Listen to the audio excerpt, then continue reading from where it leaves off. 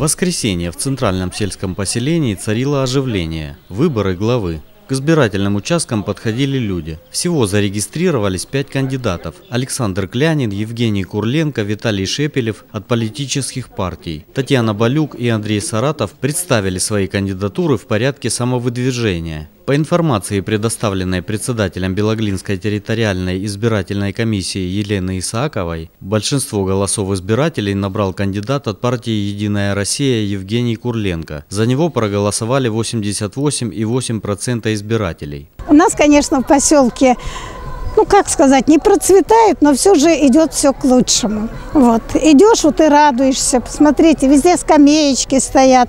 И вообще сейчас у нас э, дом культуры отличный, понимаете? Вот и, и ну все у нас красивое. Что можно еще сказать? Ну и, конечно, я думаю, Евгений Анатольевич продолжит дело Евгения Николаевича. Я за Курленкова. Я его знаю с самого рождения. Я раньше жил на том отделении, где он, мы соседи жили. Он, он на моих глазах вырос и, и учился, потом вот работал. Все, я его знаю с самого рождения. Так что я, я за него поручаюсь. Считаете, что он достойный кандидат? Да, да. Центральное сельское поселение, оно немножко улучшилось. В каком плане? В плане жизненного достояния людей, все есть здесь. И дороги здесь, самое главное, дороги. Вот. И лечебный комплекс есть здесь, и школа. Кандидатуру я сразу признал. И признал с достоинством и с честью, что что-то у него таится такое хорошее у этого парня. Он с этим делом справится, потому что у него направление образования идет по такому пути. Я думаю, что он парень наш. Явка жителей по центральному сельскому поселению составила 80,2%. Количество избирателей в списках избирателей составляет 2021 человек. Количество молодежи в возрасте от 18 до 35 лет 547 человек. Количество впервые, которые будут голосовать, 18 человек. На всех избирательных участках атмосфера праздника создана. Работают концертные программы, работают волонтеры. В рамках выборов состоялось награждение участников ежегодного конкурса социальных комиксов и плакатов «Мне не все равно». В конкурсе принимали участие молодые люди от 14 до 29 лет общеобразовательных учреждений района. Дипломы за участие в конкурсе вручили глава района Александр Коклин и начальник отдела молодежной политики Татьяна Даньшина. По итогам третье место досталось Елизавете Хитровой. Второе место заняла Надежда Пузынина. Второй год подряд победительницей конкурса становится активная участница волонтерского движения района, учащаяся 11 класса 9 школы Полина Батюкова.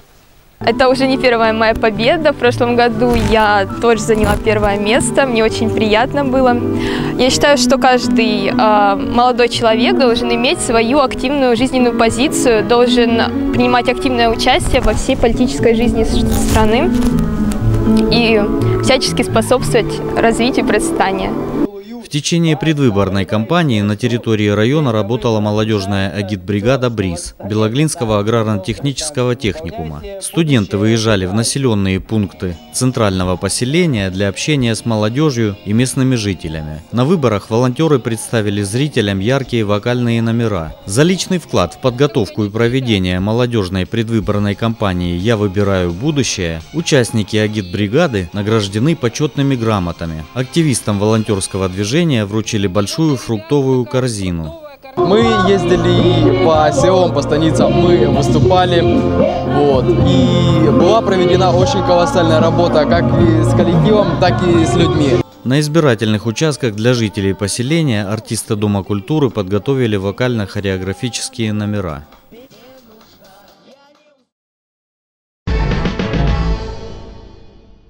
За последние годы колоссальная работа проведена в сфере здравоохранения Белоглинского района с целью повышения доступности и улучшения качества оказываемых населению медицинских услуг. Укрепляется материально-техническая база, ремонтируются имеющиеся и строятся новые отделения, благоустраивается территория ЦРБ, открываются ФАПы, приобретается современное медоборудование, активно ведется кадровая политика с привлечением новых квалифицированных специалистов. Это работа на постоянном контроле главы района Александра Коклина. Положительные изменения на лицо Значительно меньше стало жалоб от жителей, но единичные обращения на телефон горячей линии администрации все же поступают. Чтобы лично разобраться в ситуации, разъяснить возникающие вопросы и узнать о проблемных моментах, Александр Николаевич вместе с заместителем по социальным вопросам Светланой Парахиной и членами комитета по вопросам здравоохранения и социальной защиты населения направился в Белоглинскую центральную районную больницу. В поликлинике интересовала организация работы регистратуры и наличие очередей. Работают четыре окна, э, два телефона. Один телефон действительно бывает часто занят, потому что по нему ведется запись в краевые лечебные учреждения, и которая запись это ведется, в общем-то, да, в течение всего рабочего дня. А во второй регистратуре работает второй телефон. Вот этот телефон 42 28, он работает более свободно и можно дозвониться. Очередь на запись к нашим специалистам 3-4 дня, не больше. В 10 часов никакого столпотворения не наблюдалось. Около регистратуры два человека в ожидании медкарт. Видимо, утренний час пик прошел, и все больные, получив талончики, разошлись по кабинетам врачей. Проследовав туда, Александр Коклин пообщался с людьми, сидящими в коридоре. Во время беседы жалоб по поводу проблем с записью на прием, качества оказания медицинской помощи или неуважительного отношения медработников не прозвучало. Я записалась к врачу через регистратуру. Ну, в течение недели я ждала очередь электронной записи. И вот пришла к врачу. Меня приняли, ну, все нормально, как бы. Претензий никаких нету. Врач внимательная, вежливый очень, доброжелательная. Я довольна. Услышав только положительные отзывы, Александр Коклин поинтересовался у людей, есть ли предложения, советы или рекомендации по улучшению организации работы поликлиники. Одна из женщин высказала пожелание выделить один день в месяц в детской поликлинике для удобства прохождения диспансеризации ребенка выделить, допустим, ну, один день в месяц, собрать всех детей, ну, несколько группы в детской поликлинике и пройти этот медосмотр. Ну, вот это просто просьба. Пожилой мужчина спросил, когда можно будет получать льготные лекарства более быстрым способом людям из отдаленных населенных пунктов, чтобы не приезжать в райцентр дважды, ведь оптоволокно к сельским медучреждениям уже проведено. Оптоволокно действительно его тянули до каждого медицинского учреждения. Вот у вас, да, до Успенки, до Кулешовки, до Новопалки, ну практически везде. И теперь вот осталось теперь Александру Петровичу со своими специалистами настроить это оборудование. Настроить, и ситуация справится. В течение месяца? Я думаю, да, реально где-то в течение месяца. Ну, давайте так, месяц у нас срок. То есть промежутках между 1 и 9 мая мы еще раз пойдем, посмотрим, с людьми пообщаемся. Из поликлиники группа направилась в лабораторию. Здесь царила тишина в связи с отсутствием пациентов. И это естественно, судя по времени. Все анализы для исследований принимают до 9.30. Речь зашла о капитальном ремонте здания. Чтобы подать заявку на участие в краевой программе развития здравоохранения для получения субсидий на проведение ремонтных работ, необходимо первоначально составить проектно-сметную документацию. Капремонт здесь нужен и для продления в последующем лицензии на продолжение деятельности и осуществления клинических лабораторных исследований. Стоимость проекта на три здания, лабораторию, пищеблок и прачечную – 750 тысяч рублей. Александр Николаевич поручил главврачу расставить приоритеты и начать с наиболее важного, не терпящего отлагательств. Двери, окна, э, пол, линолеум, там, э, входная часть, ну, что тут? Я думаю, что проблемы по составлению э, предварительной э, э, этой сметы, я думаю, проблем не должно быть. Единственное, что если вы как бы поможете, чтобы отдел строительной администрации, поможем, тогда, поможем. тогда мы сможем вам... Поможем, причем бесплатно. Далее глава района проследовал в терапевтическое отделение, где узнал у заведующего о состоянии дел, сколько человек госпитализировано на данный момент. Поинтересовался качеством питания больных и оснащением медикаментами. В настоящее время в Белоглинской ЦРБ закуплены все медикаменты, имеются все расходные материалы, реагенты, э, рентгеновская пленка. Сейчас у нас с медикаментами или с какими-то расходниками проблем нет. Палатах Александр Коклин пообщался с пациентами, спросил о качестве лечения и отношении медперсонала. Врачи, медперсонал, медсестры отлично к нам относятся. Отлично. Мы очень им благодарны. Медикаменты бесплатные, питание отличное. У нас все устраивает. И дай Бог им здоровья.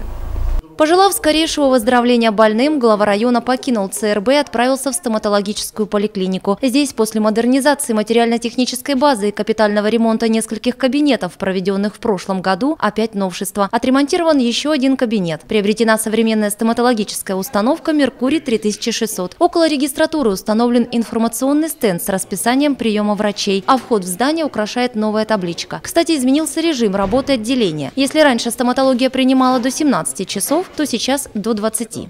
Подводя итог обхода, Александр Коклин довел до сведения медработников, что все возникшие вопросы будут рассмотрены и систематизированы. А в первых числах мая состоится повторный визит в Белоглинскую ЦРБ и во все медицинские учреждения района.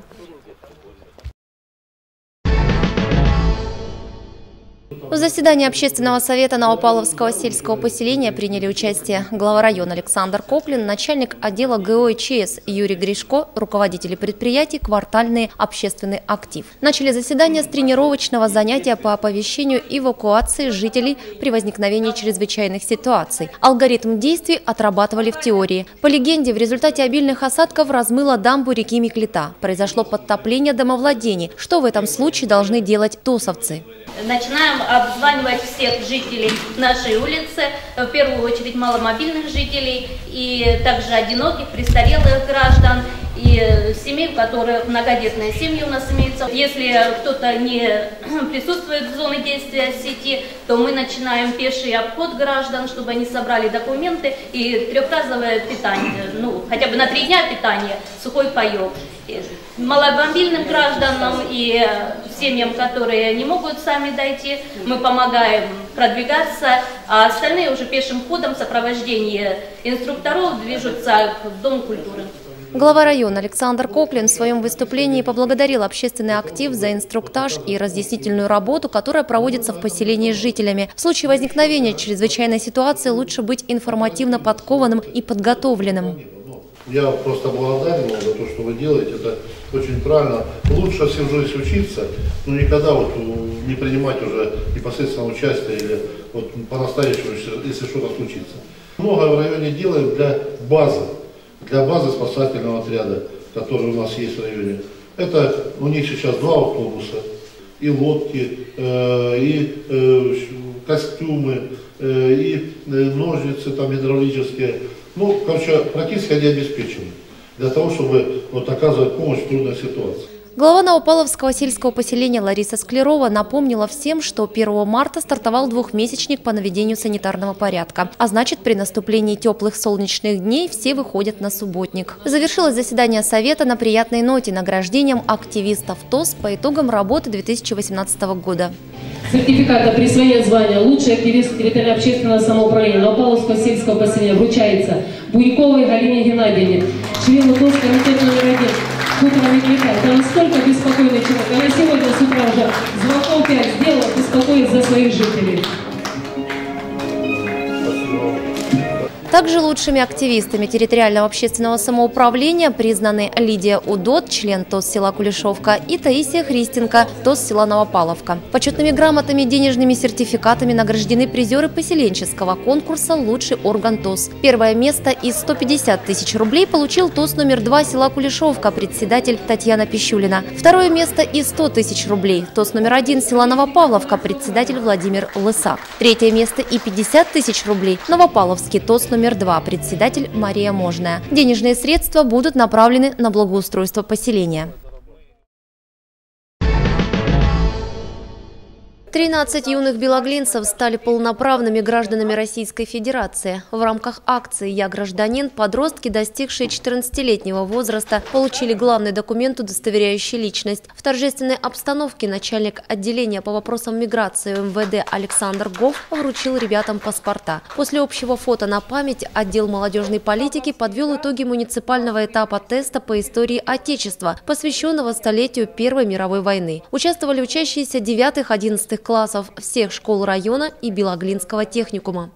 Я призываю вас к тому, чтобы вы всегда в этом участвовали. Проявляйте себя как активные граждане нашего района, потому что я думаю, что все-таки вас, в наших ребятах, будущее нашего района, будущее нашей Кубани, конечно же, нашего огромного государства. Спасибо вам огромное за вашу активную жизненную позицию. Заместитель главы района по социальным вопросам Светлана Парахина наградила призеров дипломами. Первое место занял учащийся 28-й школы Сергей Столбов, но он не смог приехать из станицы Новолокинской на церемонию награждения. Второе место ученик средней школы номер 12 Кирилл Бабаченко. Я поздравляю тебя. Спасибо за то, что ты интересуешься историей нашей страны, потому что на самом деле, э, пока в нашем Отечестве будут люди, которые будут помнить историю нашу, историю не надуманную, не придуманную какими-то западными спецслужбами и людьми, которые не относятся враждебно к нашей, нашему государству, до, этой, до этого времени э, наше государство будет крепким, оно будет жить, и дай Бог, чтобы оно было всегда таким. Третье место между собой разделили несколько человек, так как набрали одинаковое количество баллов. Большинство ученики 12 школы. Хотелось бы, чтобы такие тесты проходили как можно чаще, так как они проверяют и способствуют улучшению общей эрудиции детей и знаний истории, так как в наше время сейчас историю знать э, должен каждый. Дипломами за третье место награждены Владислав Пахомов, Анастасия Комарова, Дарья Хаустова, Елизавета Березуцкая, Елена Лагутина и студент Белоглинского аграрно-технического техникума Никита Турченко.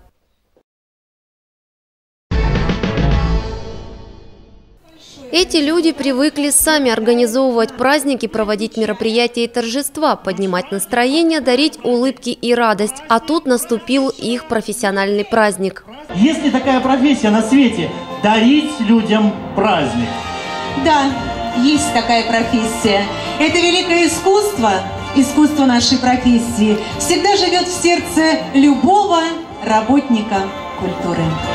В Белоглинском доме культуры состоялось торжественное мероприятие, посвященное Дню работника культуры. От имени главы района культработников поздравил первый заместитель Алексей Булгаков. Творческих успехов и побед пожелала коллегам начальник управления культуры Ирина Белявская. Церемония награждения началась с вручения почетных грамот Министерства культуры Краснодарского края.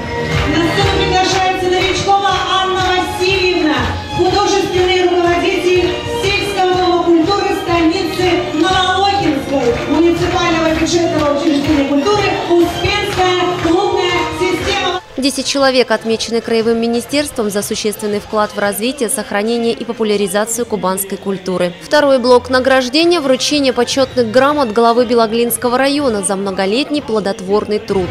Сергей Николаевич, аккомпаниатор сельского дома культуры села Новопавловка,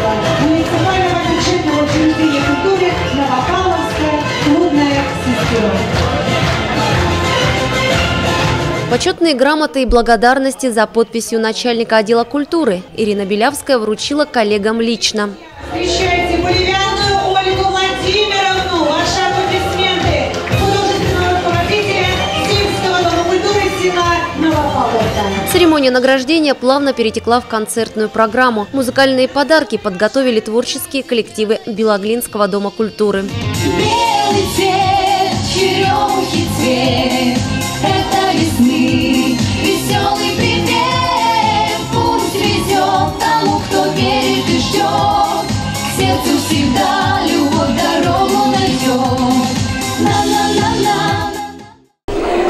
Сегодня мы присутствовали на таком мероприятии. Это очень было красиво, очень было приятно.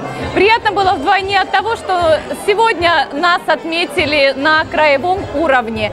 Мы бы хотели поблагодарить всех, кто нам сегодня сделал такой праздник. Это действительно праздник широкого масштаба. Мы хотели бы поблагодарить работников Белоглинского дома культуры от всей души и поздравить, конечно же, с профессиональным праздником, с Днем работника культуры.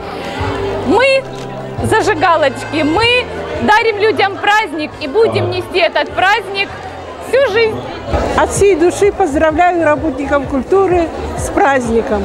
Желаю огромного мирного неба, счастья, хорошего настроения, всего самого доброго и хорошего.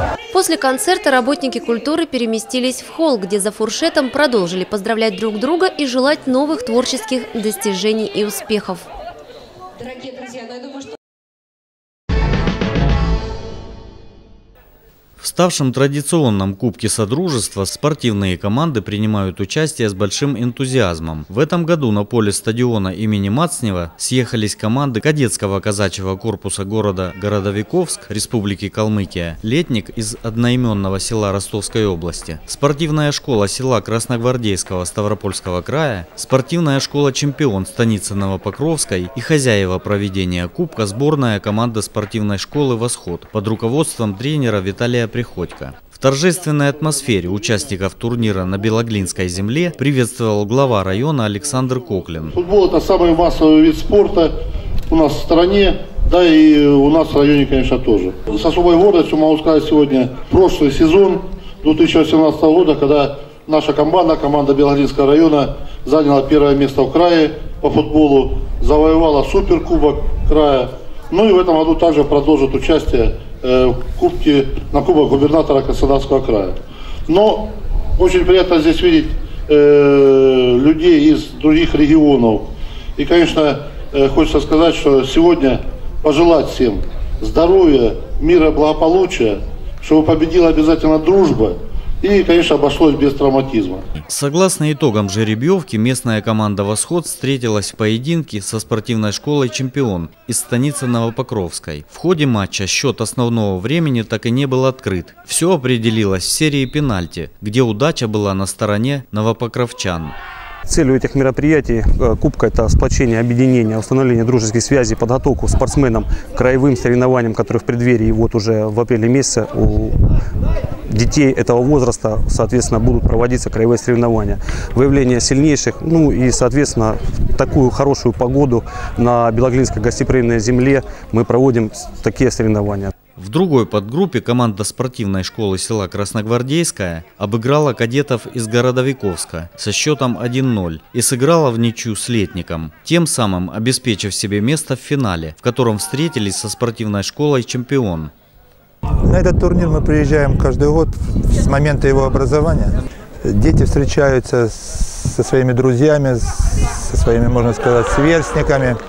Лучше не может быть. Для начала, кажется, осеннего периода, для тренировки детей, для занятий детей после зала выходим в поле. Как раз это, можно сказать, первый турнир, который участвуем. В этом поединке сильнее оказались красногвардейцы, выигравшие со счетом 5-3. В итоге Кубок Чемпиона и золотые медали турнира оказались у ставропольцев. Серебро у команды Чемпион станицы Новопокровской. В матче за бронзовые медали на поле сошлись команда спортивной школы «Восход» и юных кадетов из Калмыкии. Со счетом 2-1 наша команда потерпела поражение. Почетными грамотами и медалями награждены участники и лучшие игроки соревнований. Завершился турнир очень приятно было присутствовать на нем. То, что уровень команд подобрался очень достойный. Э, ребята показали хорошее мастерство, стремление к победе.